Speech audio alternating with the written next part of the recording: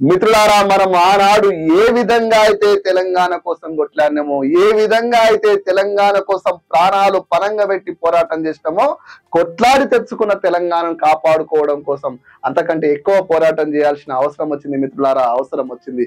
ఎందుకంటే కొట్లాడి తెచ్చుకున్న తెలంగాణను ఆగం చేసే కుట్రలు జరుగుతున్నాయి. తెలంగాణ భవిష్యత్తుకి భవిష్యత్తే ఆగమయ్యే ఒక ప్రశ్నార్థకమయ్యే పరిస్థితి వచ్చింది. ఇకపోతే వార్తలు వాస్తవాలు క్లోజ్ ఎన్కౌంటర్ విత్ ఏఎస్ఆర్ ప్రోగ్రామ్లో ఆంధ్రజ్యోతి పేపర్ తీసుకుంటే పొగ మంచు మృత్యువై కమ్మేసింది ఆటో లారీ డి నలుగురు దుర్మరణం. వికారాబాద్ జిల్లాలో చెరువులోకి కారు ఒకరు మృతి. ఒక్కసారి చూడండి మిత్రులారా ఇది నిన్న జరిగింది. ఈ లారీకి ఆటోకి ఒక ఒక మధ్యలో ఒక మంచు ఆవహించింది. ఈ కారు డ్రైవర్ కళ్ళ ముందు మంచు ఆవహించి రోడ్డులో వెళ్ళక చెరువులోకి పోయింది. ఇది నిన్న జరిగింది.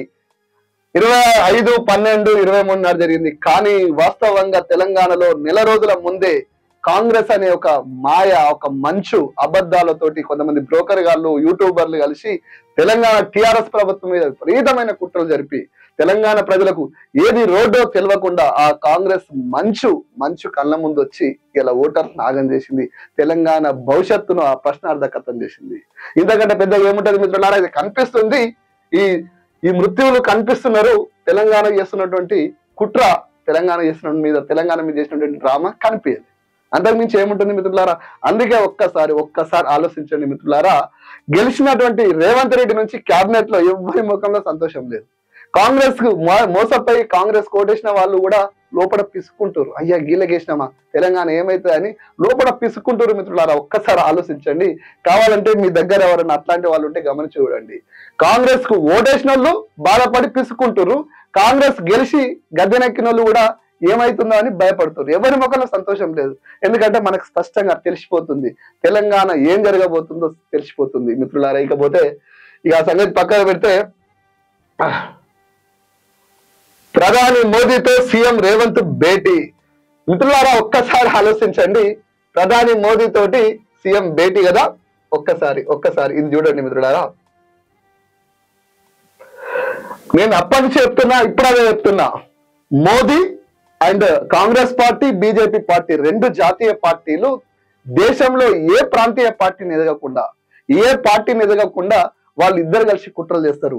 నేను ఆడే ఆనాడే చెప్పిన భారతీయ జనతా కాంగ్రెస్ పార్టీ కలిసి ఒక ప్రాంతీయ పార్టీ ఎదుగుతుందంటే ఆ పార్టీని చంపడానికి ఎన్ని కుట్రలు చేయనో అన్ని కుట్రలు చేస్తారు.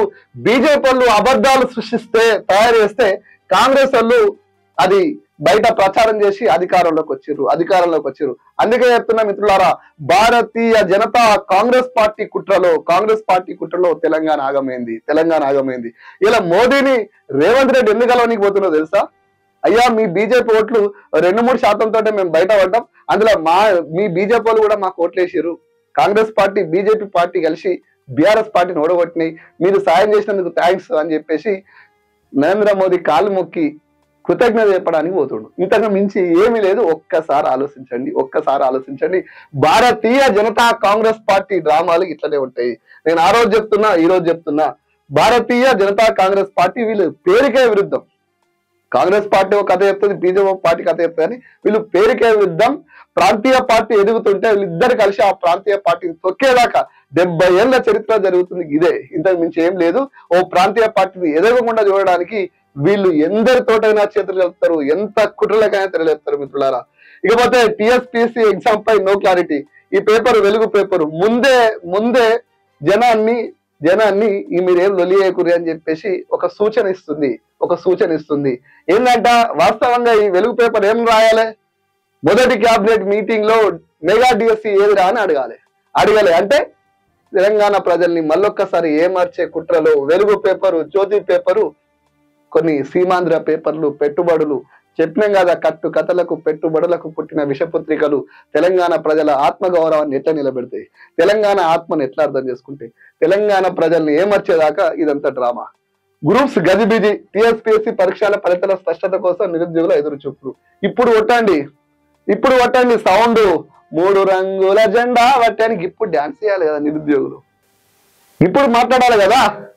డిఎస్సి ఫస్ట్ క్యాబినెట్ కానీ డిఎస్సి ఎందుకేలే కానీ క్యాబినెట్ మీటింగ్ అయితే అంటే బయట స్వీట్లో చప్పట్లో పట్టుకు రావాలి. లేకపోతే చెప్పులు దొరికి కొట్టాలి. అదే వదిలేసి చూస్తూ కూర్చున్నారట నిరుద్యోగులు. నిజమైన నిరుద్యోగులు ఇట్లా ఇట్లాంటి ముచ్చట ఉంటది ఇక దీనికి ఇట్లా మాట్లాడితే మా రేవంత్ రెడ్డి సీఎం ఆఫీస్ నుంచి వాళ్ళతోటి వీళ్ళతోటి కేసులు పెట్టిస్తారు. ఏమైతుంది? కేసులు పెట్టిస్తే ఏమైతుంది? ఆకుల శ్రీనివాసరెడ్డి కేసులు కొత్తనా?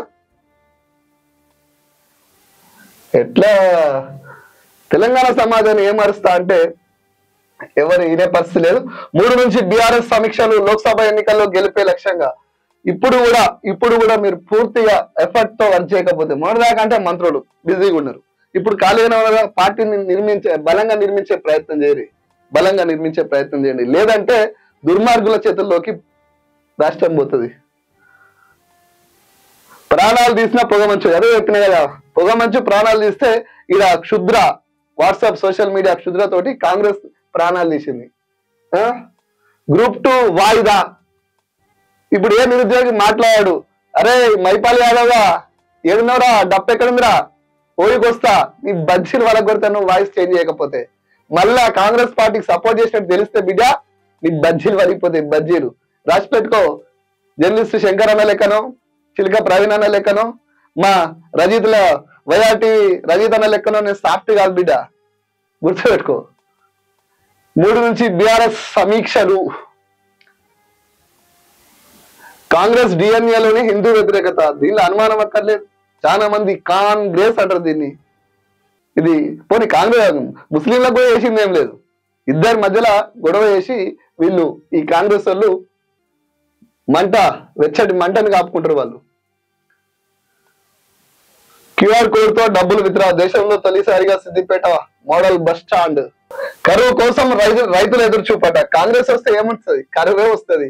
దానికి ఎదురు చూసుకునేందుకు ఎదురు చూసుకునేందుకు కరువు కోసం రైతులు ఎదురు చూపు. ఇది ఉట్టి ముచ్చట. కాంగ్రెస్ వచ్చిందంటే ఇవాళ రెండో ముచ్చట్లేదు. కరువు వస్తుంది అని రాసి పెట్టుకోర్రి కాంగ్రెస్ వస్తే కరువు వస్తుంది. కాంగ్రెస్ కరువు కవల పిల్లలన్న కవల పిల్లలు. మీకు తెలిసిపాడు కాదు. మీకు తెలిసిపాడు కాదు. ఇంకా దానికి ఎదురు చూసుకునేందుకు కాంగ్రెస్ వచ్చిందా? కథం. రుణమాఫీ కోసం రైతులు కరువును కోరుకుంటున్నారు. కరువును కోరుకోలే మీకు ఓటేసిన నాడే కాంగ్రెస్ వల్ల ఓటేసిన నాడే కరువు ఆల్రెడీ వచ్చేస్తుంది. దరిద్రాన్ని పిలవాల్సిన అవసరం లేదు. వచ్చి ఎత్తి మీద కూర్చుంటుంది. ఆల్రెడీ కూర్చున్నది. కర్ణాటకలో కూర్చున్నది తెలంగాణలో కూర్చున్నది. ఆ? ఇరవై ఎనిమిదిన మేడిగడ్డ వద్ద పవర్ పాయింట్ ప్రజెంటేషన్. ఎవరిస్తారు ఉత్తమ్ కుమార్ రెడ్డి. ఆనాడు ఏమొచ్చు ఏమంటాడు? ఇరవై ఎనిమిది నాడు వచ్చి? ఏమంటాడు? అయ్యో నేను ప్రిపేర్ కాలేదు అంటాడు. అంతే కదా? అంతకన్నా పెద్దగా ఏమైనా ఉంటుందా? మేడిగడ్డ గురించి కాళేశ్వరం గురించి అర్థం చేసుకోవాలంటే ఈ జాతిని అర్థం చేసుకోవాలి రైతుల దుఃఖాన్ని అర్థం చేసుకోవాలి. అది నీకు అర్థమైతే కావు. పోనీ నువ్వు వచ్చి ప్రజెంటేషన్ ఏం చేస్తావు? ఏం చేస్తావు? ఇద్దరు సన్నాసులు ఉన్నారు కదా వాళ్ళు రాసిచ్చిన స్క్రిప్ట్ చదివే ప్రయత్నం చేస్తావు. అంతకంటే ఎక్కువ ఏమైనా చేస్తావా? ఏం చేయలేవు. ఎందుకంటే ఓ ముప్పై నలభై ఏళ్ళుగా కాంగ్రెస్ కట్టుడు బంద్ చేసింది. కుట్రలు చేసుడు స్టార్ట్ చేసింది. మీకు ఆలోచించు చూడ చరిత్ర చూడ తెలుస్తుంది. కాళేశ్వరం దాని బ్యారేజ్ల పరిస్థితిని వివరించిన ఉత్తమ్ కుమార్ రెడ్డి. దేవుడా తెలంగాణను కాపాడాల్సినటువంటి పరిస్థితి ఇక దేవుని మీదనే ఉన్నది. ఇదేంది? ఓహో ఈయననేమో ఈయననేమో పొలిటికల్ జోకరు ఈయననేమో పొలిటికల్ బ్రోకరు వీళ్ళు కేసు పెట్టారు. పెడితే పెట్టారు పొరి ఏదేముంది కానీ ఈయన హండ్రెడ్ పర్సెంట్ జోకరు ఈయన వ్యూస్ కూడా బాగా వస్తాయి. ఏం జోక్ చేస్తాడా అని చెప్పేసి. ఎలక్షన్ చాలా సీరియస్గా ఉత్కంఠ వాతావరణంలో ఉంటే నరాలు తగ్గే పరిస్థితిలో ఉంటే ఈయన రాగానే అందరు సంతోషపడతారు. ఏ జర రిలాక్స్ అయిదామని. ఈయన ఈయన జోకర్ అయితే ఈయన బ్రోకరు పట్ట పగలు పచ్చ నోట్లతోటి దొరికిన దొంగ. ఇదన్నా డౌటా కేసు పెడతారా? పెట్టుర్రి భయ్ మీకు ఆ స్వేచ్ఛ ఉంది కేసు పెట్టుర్రి సీఎం ఆఫీసులో ఖాళీ ఉన్నారు. సీఎం ఆఫీసులో ఖాళీ ఉన్నారు కేసులు పెట్టడానికి. పెట్టురా ఏమైతుంది? ఏం కాదు. ఏమి కాదు తెలంగాణ కోసం నాకు. ఇదేమైనా కొత్త కాదు? చాలా సంఘటనలు ఉన్నాయి.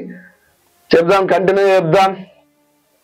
ఏపీ కాంగ్రెస్ అధ్యక్షురాలుగా షర్మిల. ఇక్కడ ఇక్కడ టిఆర్ఎస్ పార్టీని భ్రష్టు పట్టించే ప్రయత్నంలో భాగమైనటువంటి షర్మిలకి కేంద్రం నుంచి ఒక ఆఫర్ వచ్చింది మోదీ సార్ నుంచి.